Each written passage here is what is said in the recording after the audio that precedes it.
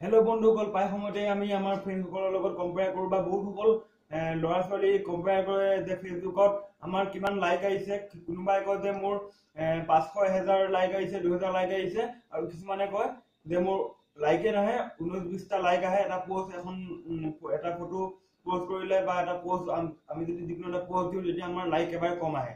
আৰু মোৰ বহু ফ্ৰেণ্ডে মোক জনাই আছে যে তেওঁলোকৰ ফ্ৰেণ্ডসকলে তেওঁলোকক কয় যে তেওঁলোকৰ লাইক নাহে আমাৰ ইমান ইমান লাইক আহে। গতিকে তেওঁ মোক কৈ আছে যে কেনেকৈ আমি অটো লাইকাৰটো ইউজ কৰিব পাৰোঁ অটো লাইকাৰটো কেনেকৈ ইউজ কৰে মোক সুধি আছে। আৰু গতিকে মই এই ভিডিঅ'টো বনালোঁ।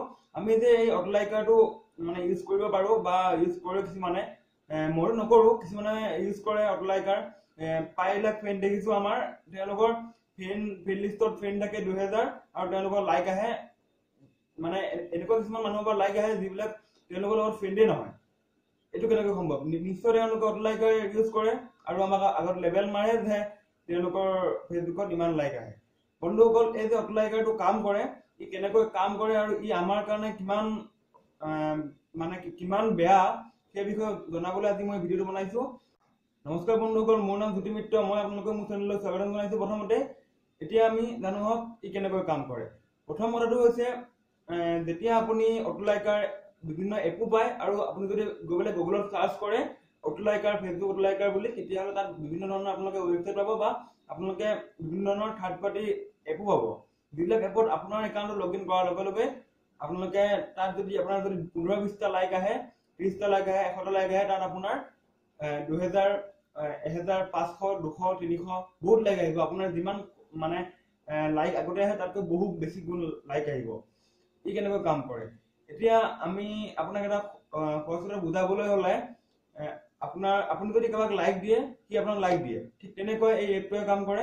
এই এপটোত যিবোৰ আপুনি তাত লগ ইন কৰিব দিব তাৰপিছতে তাত আগতে যিবিলাক ফ্ৰেণ্ডে যিবিলাক ফেচবুক ইউজাৰ ইউজাৰে তাত লগ ইন হৈ আছে তেওঁলোকে আপোনালোকৰ ফটোখন বা আপুনি দিয়া পষ্টটো লাইক কমেণ্ট কৰিব বে- বেছিকৈ লাইক দিব তাৰ পৰাও আকৌ আপোনাৰ আপুনি যে তাতে একাউণ্টটো আপোনাৰ একাউণ্টটো লগ ইন কৰিলে গতিকে আপোনাৰ একাউণ্টৰ পৰাও আপুনি গম নোপোৱাকে বেলেগ বেলেগ কিছুমান মানুহক আপোনাৰ একাউণ্টৰ পৰা লাইক কৰিব।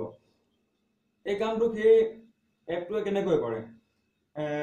আপোনালোকে যেতিয়া অটলাইকাৰটো ইউজ কৰিবলৈ অন কৰিব তেতিয়া তাত আপোনালোকক প্ৰথমতে আপোনালোকৰ ইমেইল দিব দিব পাছৱৰ্ড দিব দিব তাৰপিছতে বিভিন্ন ধৰণৰ আহিব বিভিন্ন ধৰণৰ ষ্টেপ আহিব আপুনি কি ষ্টেপবিলাক ফ'ল' কৰিব লাগিব হয়তো শ্বেয়াৰ কৰিব দিব পাৰে। আৰু এটা তাত এটা অপশ্যন আহে কোড জেনেৰেট বুলি। যিটো আপোনালোকে ভাবে যে এটা সহজভাৱে এটা কোড জেনেৰেট কৰিব দিয়ে আৰু আপোনালোকে তাত এটা কোডটো ভৰাই দিব লাগে। কিন্তু আপোনালোকে বন্ধুসকল গম নাপায় যে সেই কোডটো আপোনাৰ ফেচবুক একাউণ্টৰ এটা যিটো পাছৱৰ্ড থাকে আপোনাৰ একাউণ্টটোৰ সেই পাছৱৰ্ডটোৰ এটা সৰু কপি হয়। হৈ মানে তেওঁলোকে সেইটো এটা নিজে বনাই লয়। আৰু যাৰ দ্বাৰা তেওঁলোকে আপোনালোকৰ একাউণ্টটো নিজৰ ইচ্ছামতে চলাব পাৰে আৰু বেলেগকো আপোনাৰ একাউণ্টৰ পৰা লাইক কমেণ্ট দিব পাৰে। আপুনি গমো নাপাব আপুনি আপোনাৰ একাউণ্টৰ পৰা কাক কাক লাইক দিয়া হ'ল আৰু কিন্তু আপুনি তাৰ পৰা উল্টা লাইক পাব। আৰু যদি বেছিকৈ এনেকে আপোনাৰ বেছি লাইক আহে বা এনেকে বেছিকৈ লাইক আনাব বিচাৰে তেতিয়াহ'লে এইবোৰ যেতিয়া ইউজ কৰিব তেতিয়া আপোনালোকৰ যিটো ফেচবুক একাউণ্ট যিটো তাত লগ ইন হৈ থাকে তাত এটা ষ্টেপ আহিব য'ত আপোনাক আপোনাৰ লোকৰ যিবিলাক প্ৰাইভেট থাকে যিবিলাক আপোনাৰ ফটো আপুনি তাত চিলেক্ট কৰিব পাৰে পাব্লিক কৰিব নে অনলিমিট কৰিব নে ফ্ৰেণ্ডছ কৰিব ফ্ৰেণ্ডছ ফ্ৰেণ্ডছ টু ফ্ৰেণ্ডছ কৰিব তাত আপোনালোকক সদায় পাব্লিক কৰিব দিয়ে। যদি পাব্লিক নকৰে তেতিয়াহ'লে আপোনালোকৰ সেই পষ্টটো বেলেগে লাইক কৰিব নোৱাৰিব গতিকে পাব্লিক কৰিব দিয়ে। আৰু সেইটো কৰিবলৈ ফেচবুকেও বাধা দিয়ে। আপোনালোকে সদায় আপোনালোকৰ নিজৰ ছেফটিটো ৰখাব লাগে। সদায় আপোনালোকৰ যিবিলাক আপুনি আপোনালোকে যেনেকৈ পাব্লিক কৰিব নিবিচাৰে সেইবোৰ পাব্লিক কৰিব নালাগে সদায় মই কৰি থ'ব লাগে নহ'লে আপুনি ফ্ৰেণ্ডছ ফৰ ফ্ৰেণ্ডছ কৰি থ'ব লাগে। কিন্তু আমি সেইটো নকৰি অটোলাইকাৰ কাৰণে সেইবোৰ অন কৰি দিওঁ।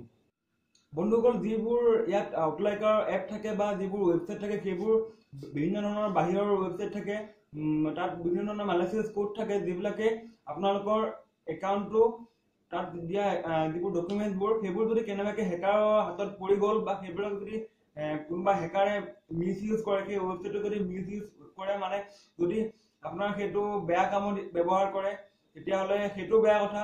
তাৰ বাহিৰেও আপোনাৰ যদি কেনেবাকৈ আপুনি তাত অট'মেটিক লাইক হৈ যাব বেলেগৰ পোষ্টবিলাক তাত যদি কোনোবা যদি বেয়া পোষ্ট কৰে তেতিয়াহ'লে তাত যদি আপোনালোকে লাইক কৰি যায় আৰু আপোনাৰ কোনোবা ফ্ৰেণ্ডছে বা কোনোবাই দেখি আহিব অ ই বা এওঁ এইজন ল'ৰাই অমুকটো পোষ্টত বেয়া পোষ্টত লাইক কৰিছে। আপোনাৰ ইমেজটো বেয়া হৈ যাব।